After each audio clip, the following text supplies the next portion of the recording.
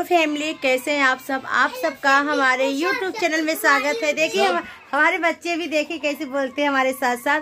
तो फैमिली आज गोवर्धन पूजा है और सबको हमारी फैमिली को हैप्पी गोवर्धन पूजा।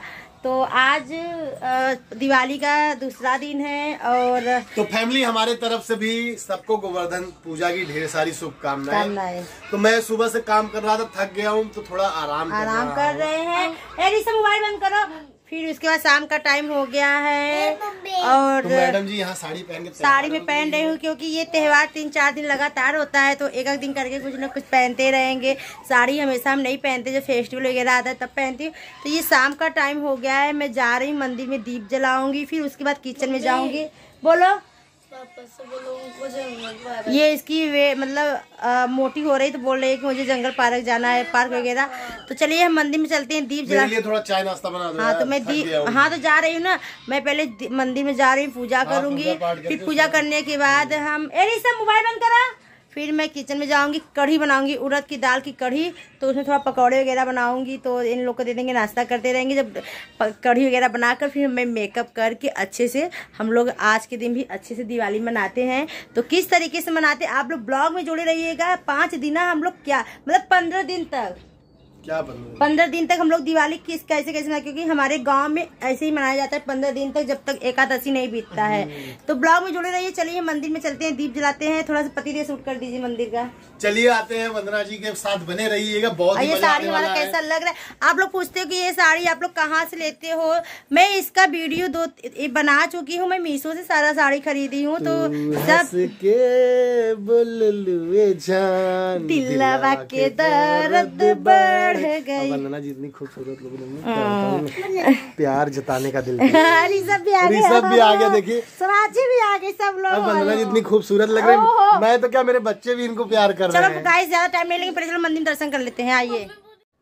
तो वंदना जी मंदिर के पास आ गई हैं देखिए सर पे पल्लू ले रही हैं। थी तो मैं कपड़ा चेंज आ तो वंदना जी पूजा पाठ करने जा रही हैं और यहाँ पे देखिए दीप में तेल डाल रही हैं दिए जलाने के लिए। सर पे अब आंचल ले लिए हैं, पल्लू ले लिए हैं। तो आज गोवर्धन पूजा है तो हमने अपने गाड़ी की पूजा कर ली है। अब ये मंदिर पे दीप जला रही हैं। तो पूजा का टाइम है तो अभी बोलते नहीं है, हम शूट कर रहे हैं। अब बाद में ऊपर से आवाज़ डाल सकती हैं ये। तो फैमिली, ये दिवाली का नेक्स्ट का ब्लॉग है। तो ब्लॉग हमारा वैसे लेट हो गया है। आने में ये गोवर्धन गोवर्धन पूजा के दिन का है। तो शाम का टाइम हो गया है मंदिर में मैं दीपक जला रही हूँ, इसलिए मैं ऊपर से आवाज़ डाल रही हूँ क्योंकि पूजा के टाइम पे हम उसमें नहीं बोल सकते थे। तो इसीलिए हमें ऊपर से आवाज़ डालना पड़ रहा है। तो यहाँ मंदिर में जब दीपक हम जला रहे हैं और ब्लॉग आने में लेट हो गया है, इसलिए ये आ जा रहा है। तो यहाँ पर जब हम पूजा कर लेते हैं, पूजा करने के बाद पूरे घर में और बाहर हर जगह दीपक जलाते हैं और हमारे यहाँ बहुत अच्छे से दिवाली वगैरह मानते हैं। और जब एकादशी तक मानते हैं और वैसे मेरे गाँव में ना एकादशी पे बहुत अच्छे से मनाया जाता है तो घर से फ़ोन भी आया था कि आप लोग आ जाइए, घूम जाइए। अभी कोई डिसाइड नहीं है जाने का। देखते हैं क्या होता है। जैसे दिवाली मनाते हैं, वैसे एकादशी हमारे गाँव में लोग मनाते हैं, जिनके घर पे दिवाली नहीं सहता है। होता है बहुत लोग के घर पे दिवाली नहीं सहता है तो एकादशी पे ही सब लोग पूजा पाठ करते हैं, दिवाली मनाते हैं।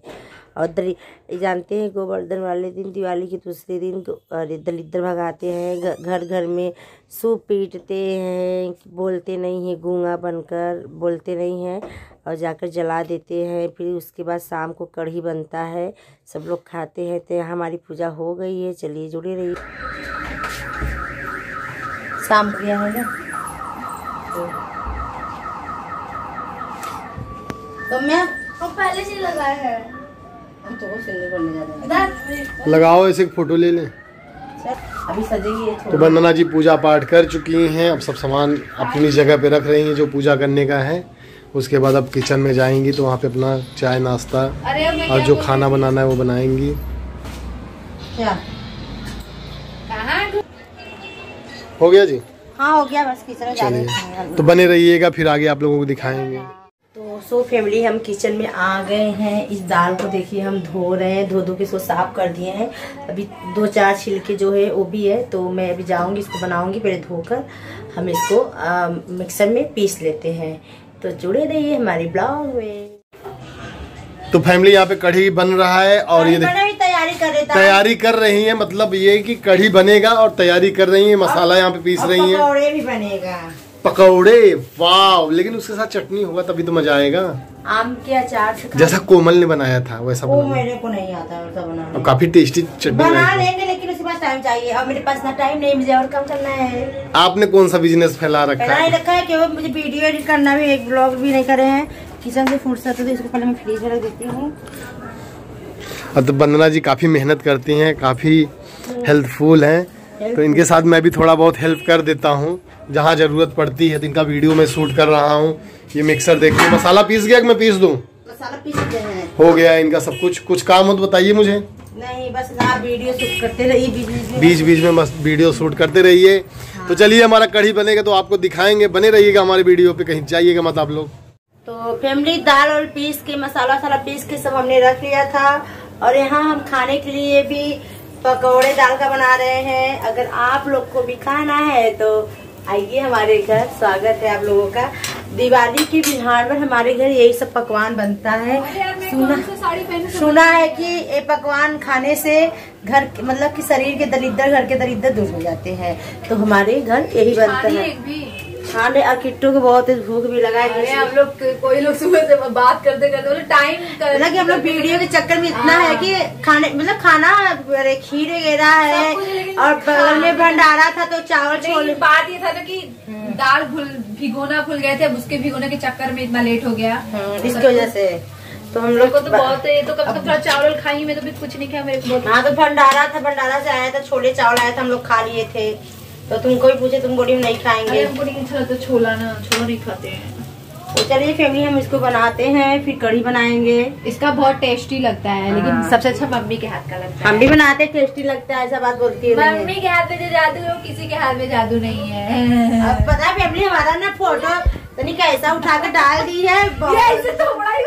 कपड़ा एक कपड़े तो उठाने से हम देखे हमने बड़ा अजीब सा लगा।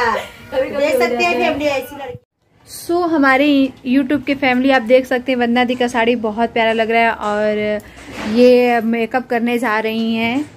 आप लोग देख सकते हैं ये बड़े सी शीशे में बैठ करके अपने फेस को देख रही हैं। ये देखें इनका शीशे में फेस अरे यार दिख नहीं रहा क्या? कैसे दिखेगा यार? ऐसे दिखेगा।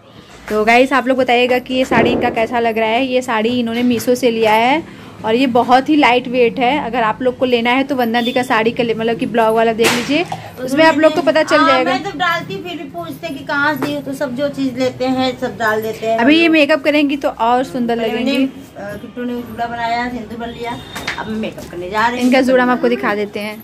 कि मेकअप करने के बाद दिखाएँ पूरा टोटली यार। ऐसे ही देख लो यार ऐसे ही बनाया है। ऐसे ही बना दिया। मेरे को सहूर नहीं है किट्टोया को सहूर नहीं है। चलिए फैमिली मिलते हैं। कुछ देर में।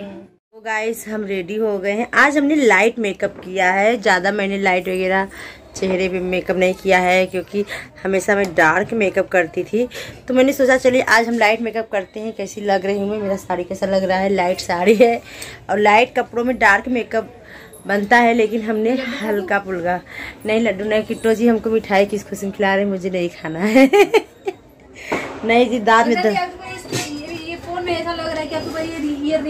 लग रहा है। बाकी अब अच्छे लग रहे हो? हाँ ईयर निकाल ईयर रिंग थोड़ा कम जच रहा है। हाँ बिल्कुल ईयर निकाल दे अच्छे लग रहे हैं ना? हाँ। हम्म। या फिर जैसे ना छोटा छोटा मैं कान का हम बहुत कम पहनते मेरे कान में हम लोग पहनते हैं हम भी नहीं मेरे बहुत पहनते कम हम बहुत कम पहनते मुझे सुंदर लगा।